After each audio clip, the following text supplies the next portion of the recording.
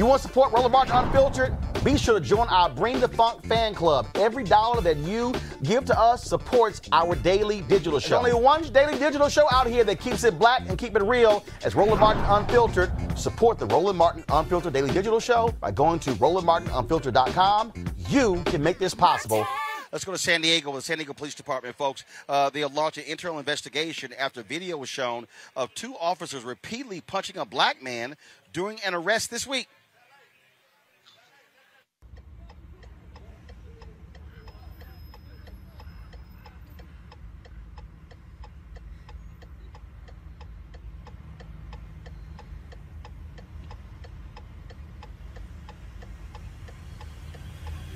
Stop!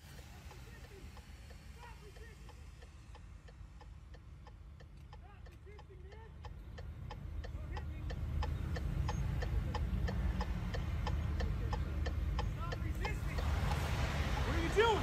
Have the fucking pit. Stop resisting. Fuck me. Stop resisting.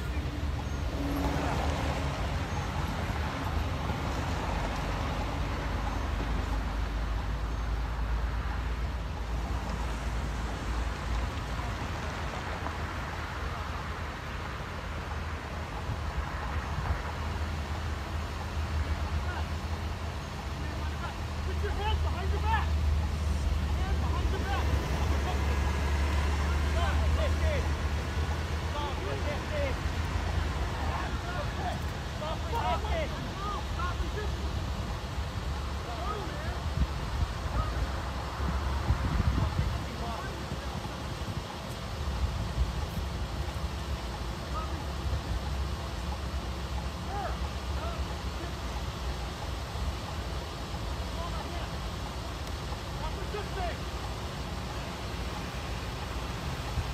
resisting. Stop resisting. Stop resisting. Hey.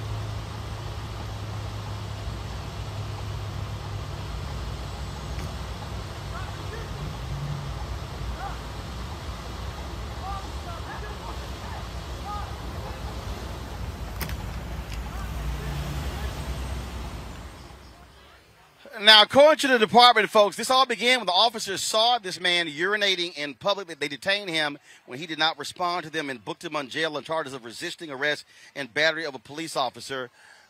I mean, again, again, Brittany, see, th- this is the thing that that when you, every time we do one of these stories, the first thing you say is, "How did it all start?"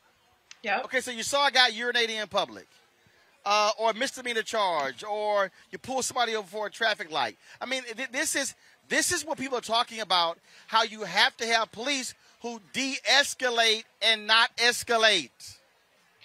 Roland, you hit the nail on the head. I'm thinking about how this started for urinating. Urinating. They didn't try to de escalate the situation whatsoever. And that man didn't go out looking for a problem with them or looking to harm those officers. Yet he ended up brutalized and then in prison. Now, Roland, I went to Temple University for undergrad, and folks loved to party there. There used to be white frat parties every night, and those same frat bros would go right outside on Broad Street and urinate for everyone to see oftentimes underage with their beers still in hand. And you and I both know that this would not have happened to one of them. So what's exhausting is that this isn't about urinating in public. It's about a constant criminalization of the homeless. And at the end of the day, the homeless are a part of our community too. So the police, if they're truly to be protecting and serving, should be protecting and serving the homeless as well because they're a part of our community. Yeah. And Like, I just feel like, can you imagine what our world would be like if the police just helped this man instead of actually harming him? Um, Michael, again, this is the thing that that that what people are demanding. They're demanding real accountability, and you got to have cops who know, again, not you know not to escalate, who understand that. And there are examples of it. But the problem is, there's too many tough guys uh, who are walking around with badges and guns who don't like it when someone questions their authority, and, and then they know, oh, I can beat the hell out of them, and I'm going to get commended. Yeah, especially when it's someone who appears to be homeless as well. When it appears to be somebody who's marginalized, has less resources, you feel that they have less recourse to retaliate against you. They don't know the mayor. They don't play golf with the police chief. Things like this, right? You you, you have things like this to take place, but it, for it to start from urinating in public and then the one the officers uh questioned him he would not stop uh therefore one of the officers held him to detain him it's just to, to, to escalate to something like this i'm like how, how many white people do, do you all stop because they're urinating in public? Okay. I know if they have the country music festival or the Hoedown or things like this, like we have here in, in Detroit. I know you have white people urinating in public. I've seen them do it here in Detroit. So, uh, you know, once again, this is this is an example why some people don't need to be police as well. You know, something like this is ridiculous to, to, to escalate from from urinating in public uh, it, you know, this doesn't make any sense. D.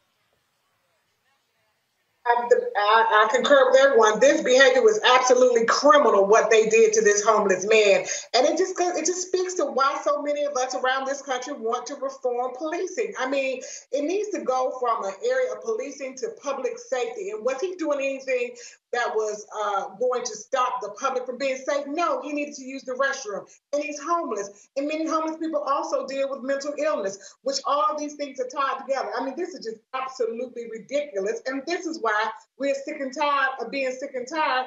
And we need to have real conversations in our state legislatures, in our municipal governments about how we deal with policing and make them do the right thing and stop just every week going through this over and over. It's a cycle. It's, and it's you know what? It's over. It's overrated. It's, it's, it's too much, and it's enough. We got to stop. This is too much.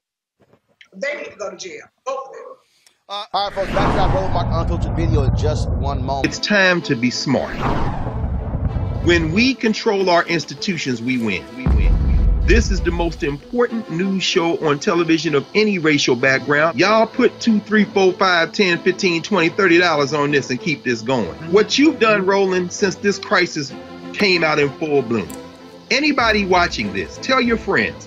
Go back and look at the last two weeks, especially of Roland Martin Unfiltered. I mean, hell, go back and look at the last two days. You've had sitting United States senators today, Klobuchar and Harris. Whatever you have that you have, you can bring to Roland Martin Unfiltered to support it, please do because this information may literally save your life.